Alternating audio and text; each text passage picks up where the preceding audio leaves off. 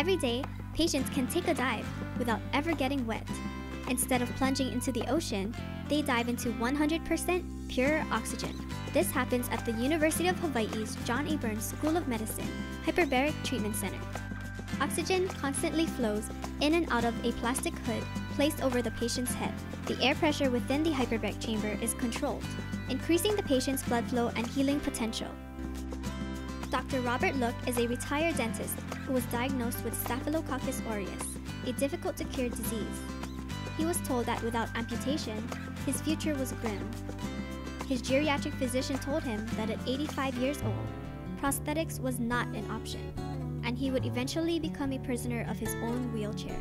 But after less than 30 dives at the Hyperbaric Treatment Center, Dr. Look's open wound went from the size of a quarter down to a nickel. Now, his wound is a tiny slit.